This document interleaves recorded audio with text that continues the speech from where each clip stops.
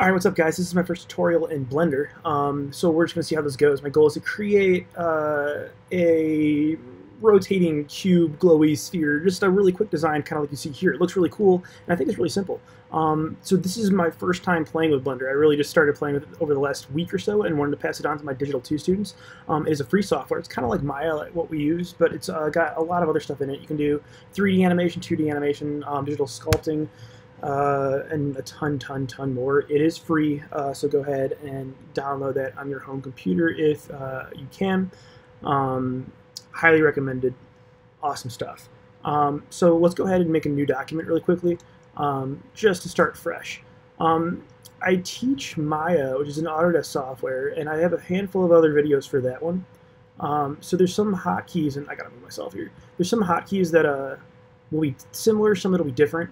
Um, like we start off with this basic, basic cube. Um, first thing, if I just go over there, I'm going to hit X on the keyboard to delete it, um, which is actually funny because my next step is going to be to make a new cube. The first thing I want to uh, show a few basic tools. Um, so over here I have my selection tool and then my like move, rotate, and scale tools, just like uh, we see in Maya. However, the hotkeys to access them are different. In Maya it's like WER whatever, but in Blender um, if you hit, what is it, uh, Shift Spacebar, your cursor then lets you choose between move, rotate, scale, and transform, which is kind of all three of those combined. So you can click one of these, G for grab, R for rotate, S for scale. Um, so if I have an object, to create an object in Blender, I hit Shift A, Shift and A on my keyboard, and I can create a handful of things. So let's go ahead and recreate that cube that we just deleted.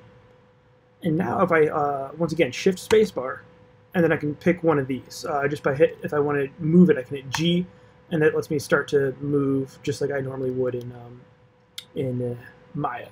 So um, I have a cube, pretty cool, pretty easy. Uh, other things is over here I have my zoom tools. If you have a mouse, I'm not using a mouse right now, but if you have a mouse, you can just scroll, makes that really easy. Um, yeah, uh, I'm also just like rotating with uh, the trackpad here. Um, so let's go ahead and uh, switch our views. If I hit Z on my keyboard, um, right now I'm currently in what's called solid view, um, which just lets me see all my shapes as solids. I'm gonna switch over to wireframe view, which lets me see like through the solid shapes. Um, over here on my menu, right now I'm on my object properties, which shows me kind of like, like the location, all like the basic uh, parameters of the shape that I currently have selected. Right below it is the wrench or spanner right there, um, and I, I have a bunch of modifiers. I click add modifier and there's an awesome list of, of, all these modifiers or effects I can use to modify the object. Um, the one that I'm going to do for this tutorial is just solidify, which I believe where oh man where where did solidify go? Still getting used to this one right, right over here, solidify. So what solidify just did is it took what would be a hollow shape, right, just like our, my six planes, and made it or gave it some bulk. If I change the thickness right here, right now my thickness is 0.01 uh, meters. I'm going to drag that up, and I can see, if I zoom in on my shape right there, I'm zooming in with the trackpad, but you can also use the uh, plus sign up here. If I zoom in, or change my thickness right here, I'm changing how thick the actual solid part of the thing is. I'm going to go ahead and type something in there uh, to be 0.65, and I want to memorize that number. I want to remember that number, because eventually I'm going to keyframe it to try and go back to that number. Um, so my thickness is 0.65. Um, if I hit Z again I went back to solid, it doesn't look like anything because basically I have now a hollow cube but with a more solid walls. Um, Z, wireframe, there I go. Um, so next thing I'm going to do is I am going to copy this thickness modifier. Um, so I'm going to hit copy right here, and now I've got two, and I'm going to move this one up to be a little bit bigger, to from uh, 0.65, I'll say like to 1.25. So now I've got 1.25, there we go. So now I have a series of cubes that I can start playing with. Um, so if I go back to solid view, Z, solid.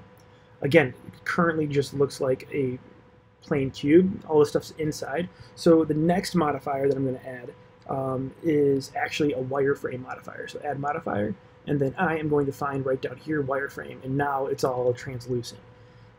so um, I don't want to be translucent because my uh, the whole goal was that they were these glowing beams. So what I'm going to do is over here, uh, I am going to go to my material properties, uh, which is this ball right here, this red one.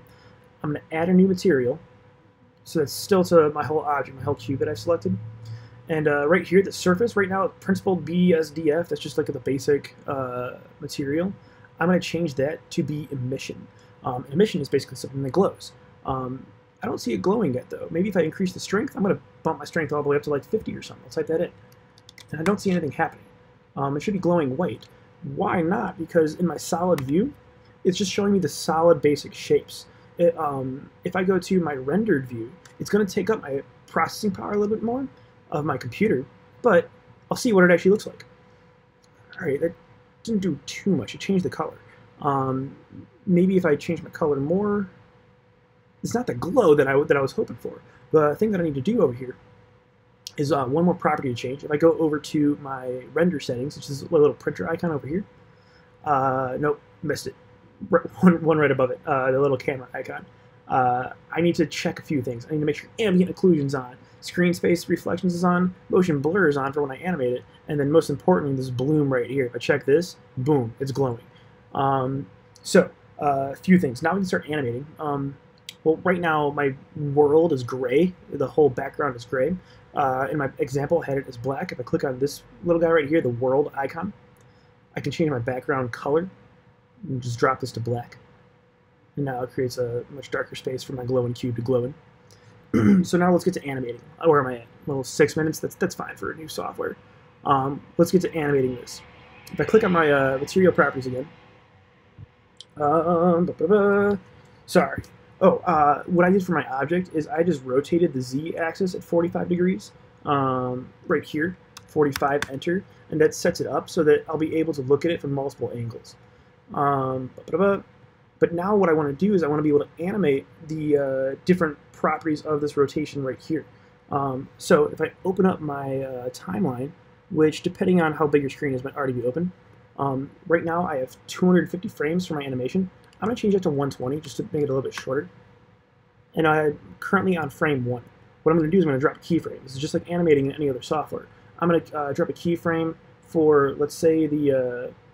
Uh, ooh, let's uh, animate the thickness uh, if I go back to my modifier, I can animate the thickness modifier from, uh, if I right click here, I can insert a keyframe. So I'm saying, hey, at the first frame, its thickness is 0.65. If I go to halfway, which is 60 frames, let's say that this thickness grows to like, yeah, like what, like 2.0 right here, or 2.03 for me.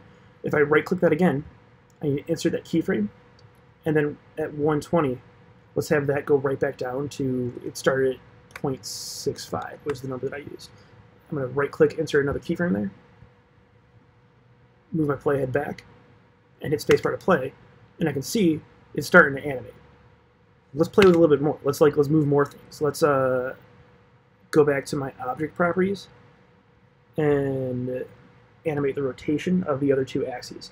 Um, let's say that hey, it starts at zero, and then at 121 frames, so just past it, it will have hit 360. And what that does is that means that at one at the first frame, it will come to a full circle. So I'm going to change this to 360. Doesn't look like anything changed. I'm going to right click, insert keyframe again. Ooh, I don't think I added a keyframe from the very start. Um, let's go back to frame. Oh no, I did. Boom, easy. So now if I play that again, I have the starting of a looping animation. Um, other things I can keyframe, just for the sake of time, I'm making this a pretty long tutorial. Uh, I could keyframe the other rotations. I could keyframe the, uh, I mean, really almost any setting. Uh, I could keyframe the thickness of the other modifiers. I could keyframe, I could play with the offset. I could play with a lot of these uh, animations to make this my own and not just a basic tutorial that, honestly, I learned from somewhere else. Um, so uh, future videos will look at like rendering, exporting, um, and all that cool stuff. I'm really excited to be learning Blender. Uh, thanks for watching.